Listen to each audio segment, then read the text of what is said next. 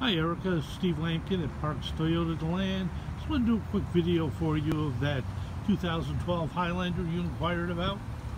You can see it's got running boards on it already. And I know you want some pictures of inside. Inside, now this has not been through our detail, detailed shop and cleaned up yet. Uh, but it's in pretty good conditions. I don't see any tears or rips in the upholstery.